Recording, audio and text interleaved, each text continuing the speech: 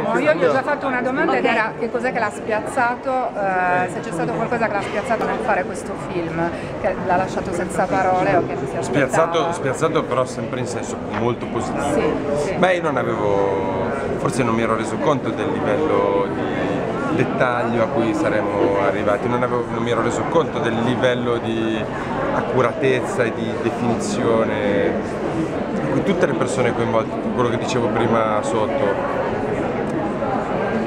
tutto il reparto più tecnico e artistico che è stato coinvolto è neanche di primissima categoria, proprio fu fuori categoria. Maurizio Milenotti, Daniele Cipri alla fotografia, eh, Mirella Ginotta all'acconciatura, cioè proprio un po' il meglio che, che la tecnica cinematografica può offrire. Quindi avevo forse un po' sottovalutato l'impegno al punto che una volta messo piede sul set la preoccupazione essere, era essere a livello di quello che, che, che, era stato preparato per me. Cosa ti è rimasto della grande lezione di Leonardo? Delle conferme.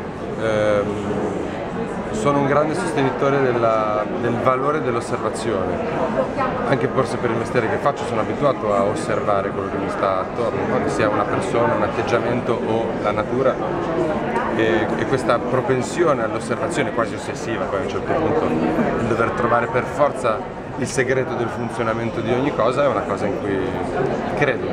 Cosa avrebbe pensato secondo te Leonardo della professione dell'attore?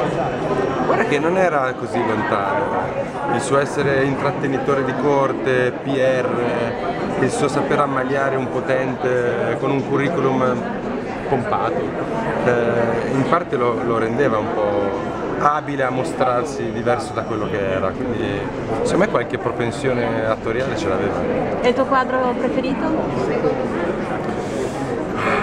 Sai che in realtà le cose che trovo più affascinanti sono gli studi e non le opere. Le opere sono, sono eh, eccezionali ed eterne, però non so, gli studi su, sul cavallo, le facce grottesche, tutti gli schizzi fatti su, su carta mi, molto. Grazie Luca e complimenti. Grazie, grazie Com'è stato recitare da solo e con una recitazione ridotta quasi al minimo? Ci sono un sacco di close-up, di...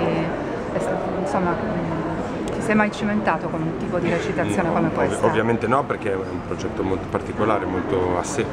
E infatti forse la, la, vera grande difficoltà è stata eh, tutte le volte che ero in scena da solo eh, verbalizzare il pensiero, è una cosa che che nella vita di tutti i giorni non sei abituato a fare, se pensi una cosa la pensi, non è che la, la enunci. E invece in questo caso l'impianto stesso del film imponeva che il pensiero fosse parte della, della scena.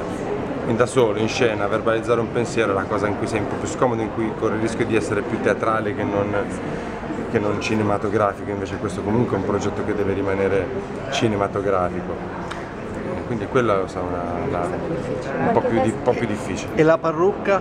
Quanto ci ha impiegato a abituarti? Sai che la parrucca è come, è come gli accenti, come i dialetti, mm-hmm. è una cosa che all'inizio può sembrare ostico, ma, ma alla fine diventa una grossa arma in più. Eh, sia il costume, poi la parrucca fa parte del costume, il costume in sé, sia quell'abito meraviglioso che avevo, che la parrucca, servono per acquisire una postura, per acquisire i movimenti. Tu non lo puoi sapere perché hai i capelli molto corti, esatto, infatti, più, ma esatto, per quello te lo chiedevo. Lunghi, la tua testa e il tuo corpo si muovono diversamente. No. Se, se, sono sciolti, inevitabilmente fai dei gesti che, che non fai. Quindi diventa un'arma in più. E invece da un punto di vista umano, cosa ti ha colpito di più di, di Leonardo? Non eh, Leonardo artista, Leonardo uomo, cosa ti ha... Io non sapevo quasi nulla, la, la mia preparazione su Leonardo era scolastica e, e annebbiata, eh, dai un po' per scontato di sapere, di sapere chi è.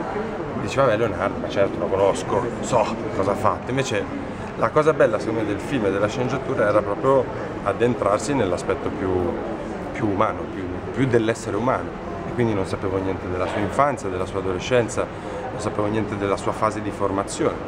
E, e questa cosa dell'essere stato comunque un, un, ragazzo con una vita non semplice, che priva fondamentalmente d'amore, eh, me lo ha reso, mi ha, mi ha intenerito. Grazie. Quanti giorni sono Quando- durate le riprese? Quanti giorni di lavoro sono Io stati? personalmente sono stato sul set due settimane, due settimane e mezza.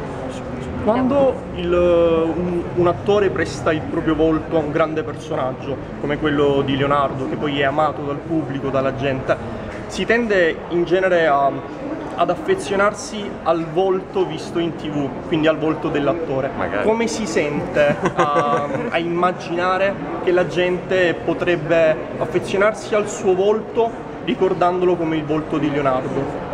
Sarebbe un onore enorme, sarebbe un piacere incredibile. Io, io stesso, nel- se dovevo pensare a Leonardo prima, la prima immagine mi, mi veniva in mente era l'ottantenne barbuto stanco, no? quello che si vede un po' alla, alla fine del film, che poi non è, insomma ci sono teorie discordanti anche sull'identità di, di quel ritratto.